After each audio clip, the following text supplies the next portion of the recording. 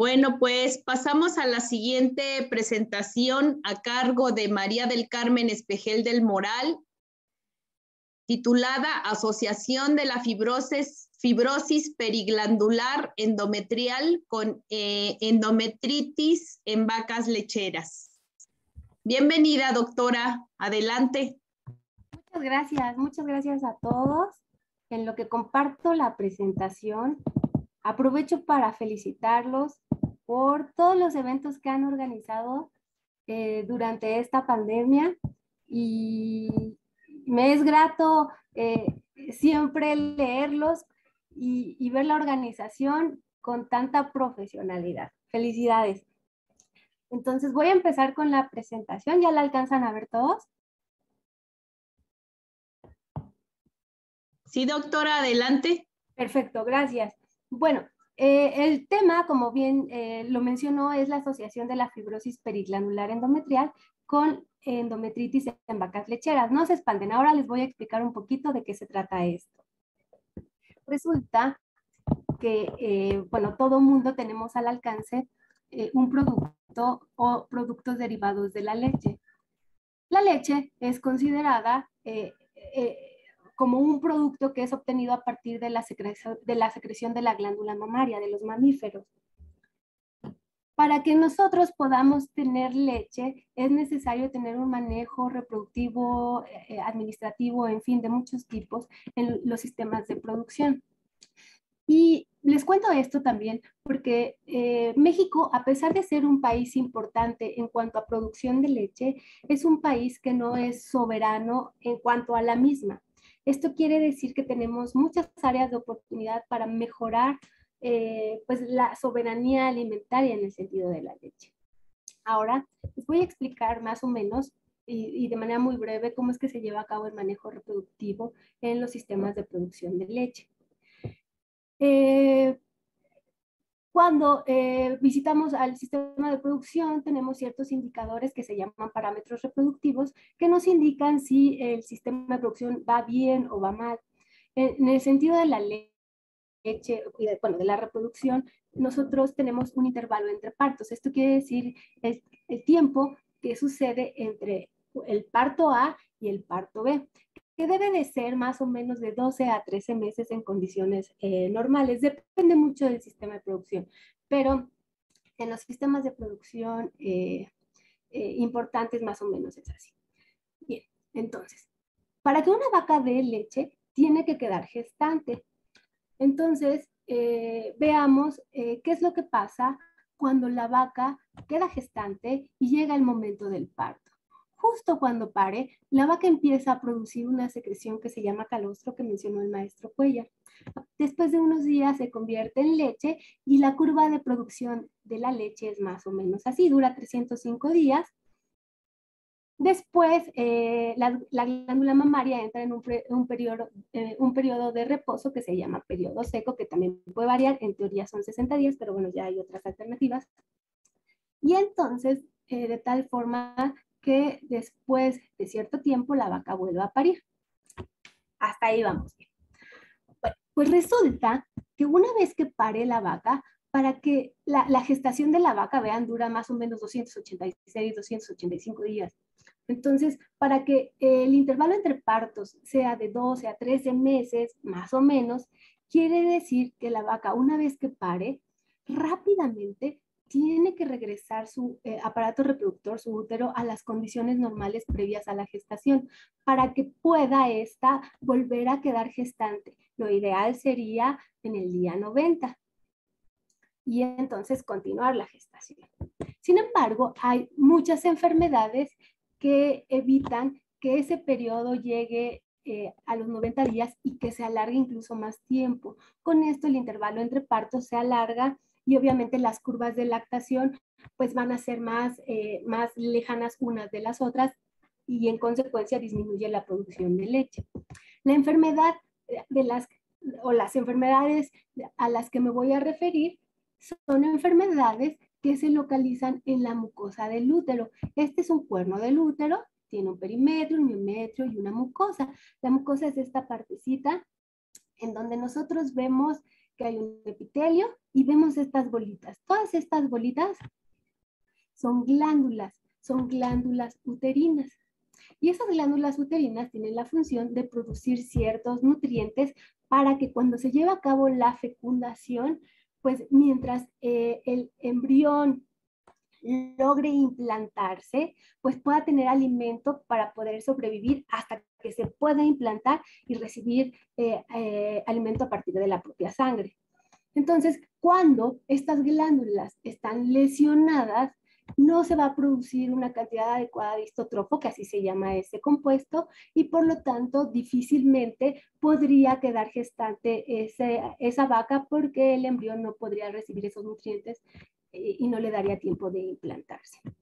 Bueno, esa es la fibrosis. ahí voy a hablar sobre la fibrosis periglandular. Cabe mencionar también que eh, es muy común que en los sistemas de producción lecheros el endometrio o el miometrio incluso puedan eh, contaminarse y sufrir procesos infecciosos.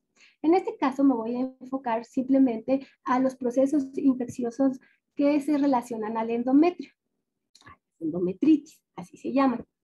Bien, entonces ahora sí, la fibrosis periglandular se le conoce también como endometrosis. De hecho, en equinos ya es muy, es una patología pues bastante, eh, bueno, reconocida más bien, eh, y se trata de precisamente la fibrosis que ustedes pueden ver, vean, estas tres glandulitas de aquí abajo están sanas, pero vean esta que está eh, con los círculos nosotros podemos ver el, círculo pequeño corresponde al epitelio de la glándula, que se ve muy diferente a este. Está completamente eh, diferente e incluso no hay células, por ejemplo, acá. Y además está rodeado de unas células que se llaman fibroblastos. Entonces, la fibrosis periglandular es la fibrosis del, del estroma periglandular endometrial que incluye alteraciones glandulares dentro de las zonas afectadas, como lo estamos viendo aquí. Eh, aquí tenemos algunos ejemplos. Ese es un corte sin cambios patológicos aparentes con algunas glándulas normales. Vean, todas estas. Vean esta, esta está completamente fibrosada. Ven la gran cantidad de tejido conectivo de fibroblastos, fibrocitos que puedan estar aquí rodeándola. Y esto lo que hace es, puede ser que comprima a esa glándula y que no funcione adecuadamente. Aquí tenemos algunas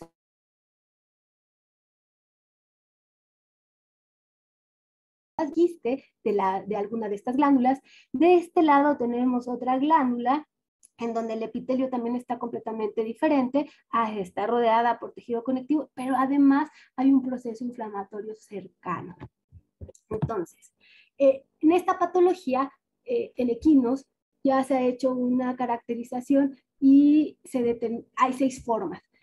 En dependencia del tejido que está alrededor, el tejido fibroso que está alrededor de las glándulas, pueden ser activas, mixtas o inactivas, en dependencia de eh, la actividad propia de las células. Si hay fibroblastos, son activas, y son fibrocitos, inactivas, y si la, mitad es eh, de fibroblastos y la mitad de fibrocitos sería mixta. Eso en cuestión a las células del estroma.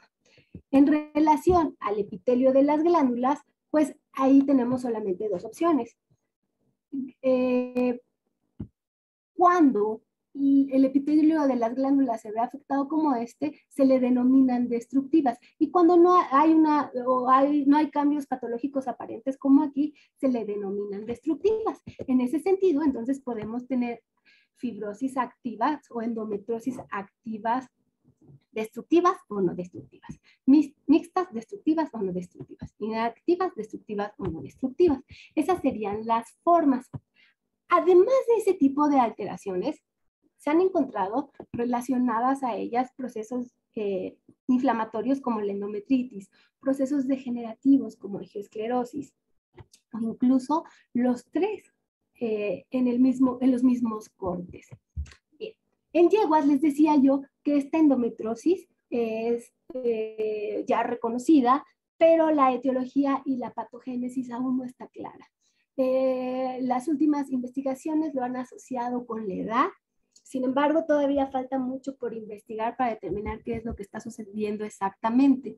Y, pero lo que sí hay es una categorización. en donde en dependencia de la historia clínica, de las lesiones que encuentran en el tejido, de algunos otros elementos, se puede establecer la probabilidad de que esa yegua pueda quedar gestante. Entonces, eso, si, si alguien, un reproductólogo de yeguas, toma una biopsia, tiene todos los eh, demás datos, puede determinar eh, qué probabilidad tiene esa yegua de quedar gestante. Esa es una ventaja en el caso de las yeguas. En las vacas, pues, ya tiene tiempo que se ha demostrado que existe esta fibrosis sin embargo, la categorización todavía no está eh, completamente clara, eh, que es parte de la línea de investigación que nosotros estamos haciendo. De hecho, esto que les estoy presentando es un pedacito de lo que nosotros estamos haciendo. Igual que en el equino, la etiología y la patogénesis no está, está clara. Sin embargo, algunos autores mencionan que la fibrosis pues, es la expresión de, una endometritis. Y pues tiene sentido, ¿no? Eh, muchas veces endometritis crónicas eh, o frecuentemente en una endometritis crónica podemos encontrar fibrosis. Entonces, eh, pero tiene sentido, ¿no? Los procesos inflamatorios que papel juegan dentro de la presentación de esta enfermedad. Pero también la edad y la paridad es algo que nos llama la atención y que también estamos estudiando. Sin embargo, ahora solamente nos vamos a enfocar a los procesos inflamatorios.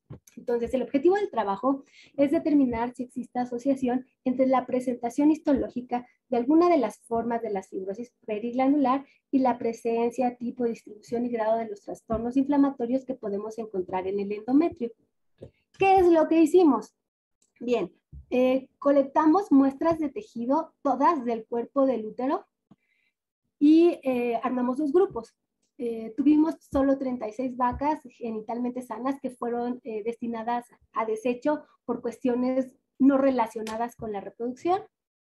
bueno, estos son los datos generales, ¿no? De 2 a 8 años, de 1 a 6 partos, con días abiertos de 94 días.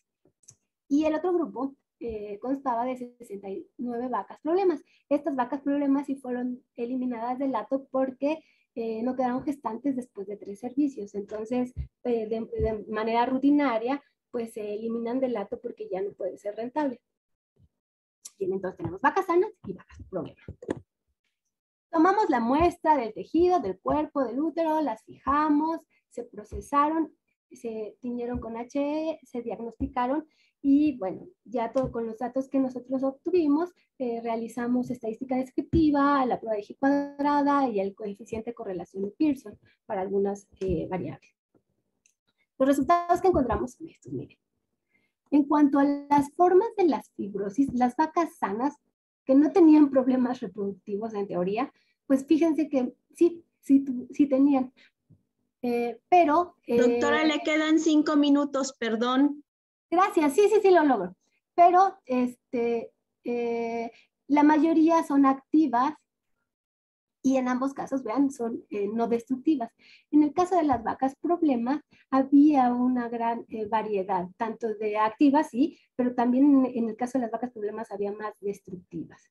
En el caso de las vacas sanas, la mayoría fueron leves moderadas y las vacas problemas eran más severas. En el caso de las vacas sanas, los procesos eh, endometríticos fueron eh, crónicos linfocitarios de leve a moderado y fueron pocos, mientras que en las vacas problemas había una amplia gama ¿no? de ellos, como ustedes los, lo pueden ver. Bien, además de eso, encontramos una asociación en aquellas eh, muestras que presentaban fibrosis con epitelios destructivos y presencia de infiltrado inflamatorio.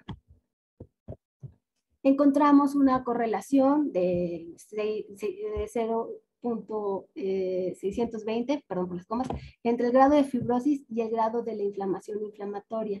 Encontramos también una asociación entre la presencia de la endometritis y de las fibrosis severas. Y bueno, y una correlación eh, con el número de días abiertos y el grado de fibrosis. Entonces, eh, pues bueno, la mayoría de las fibrosis, eh, los bovinos son activas y leves a comparación de las yeguas. Eh, la activación de la fibrosis periglandular en el endometrio, en, el caso de las yeguas, eh, se puede observar pues, en el curso de la, de la inflamación y como resultado de la reparación en forma de cicatrización. Esta, la endometritis simultánea también puede conducir a la activación metabólica de las células estromales o de los miofibroblastos que pudieran estar rodeando a las glándulas por diferentes factores de crecimiento y citocinas. Eh, sin embargo, pues no está claro exactamente qué cuáles son las influencias que conducen a la activación eh, de estas células. Todavía seguimos como que viendo qué más podemos hacer. Eh, además, las vacas problema mostraron una mayor cantidad de días abiertos que las vacas sanas, bueno, esto era como que lógico, y se puede atribuir precisamente a la presencia de una mayor cantidad de lesiones, a la cronicidad, porque tendían a ser más crónico, y a la severidad de esas lesiones. En conclusión, las vacas problemas presentan con mayor frecuencia fibrosis y endometritis que las vacas sanas. Las vacas problemas muestran con mayor frecuencia fibrosis de, grado severo y de forma destructiva que las vacas sanas. Existe una asociación entre la presencia de endometritis y la fibrosis de grado severo. Se presenta un infiltrado inflamatorio periglandular en las fibrosis destructivas. Las vacas con mayor número de días abiertos presentan fibrosis severa las alteraciones que nosotros hemos observado, pues definitivamente pueden influir negativamente en la fertilidad bovina y en consecuencia la producción de leche. Entonces, eh, por eso nosotros queremos seguir eh, estudiando y continuar con el proyecto de investigación para determinar exactamente qué es lo que, lo que sucede con estos animales para pues evitar precisamente que que continúe o, mejorar el manejo de los animales para evitar este tipo de endometritis que pudieran ser subclínicas. Entonces, con esto, pues terminaría la presentación. Eh, doy gracias a estos proyectos que son los que nos han estado financiando para realizar la, eh, la actividad. Y pues muchas gracias por la atención. Pues agradecemos la presentación de la doctora María del Carmen Espejel del Moral. Y damos paso a un par de preguntas, por favor, si son tan amables en, hacerlas.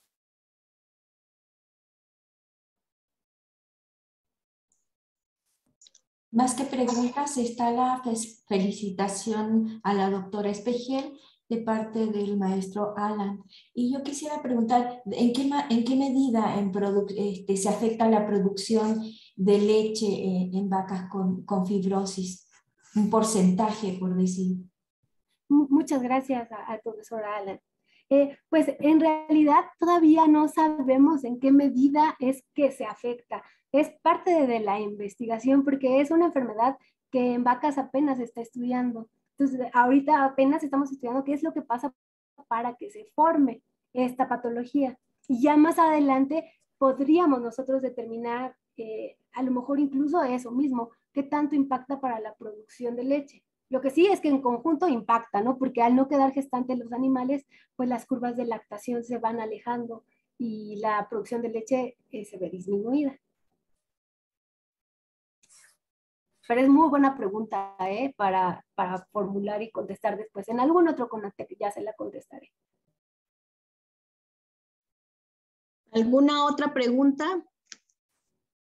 Pues yo creo que esta um, investigación que usted lleva a cabo es muy importante, sobre todo para no mermar la producción de, leche a nivel nacional. Entonces, tiene una aplicación en todo, en toda, en todo, para todos los productores, ¿verdad, doctora? Sí, esto aplica para pequeños, medianos y grandes productores. De hecho, el profesor Cuellar mencionaba un poco lo mismo, ¿no? El apoyo que necesitan todos los productores para poder eh, tener una mejor producción y con ello una mejor calidad de vida. Lo mismo sucede con esto. Si nosotros apoyamos a aquellos pequeñitos, a aquellos medianos y grandes productores, seguramente van a tener al final una mejor calidad de vida y el país pues podrá tener una mejor producción de leche y podrá ser soberano alimentariamente en cuanto a leche, ¿no? Y no tener que comprar tanta leche al extranjero. Así es. Pues agradecemos su presentación doctora Espejel, y no nos queda más que agradecerle. Gracias a todos ustedes y, de nuevo felicidades. Gracias.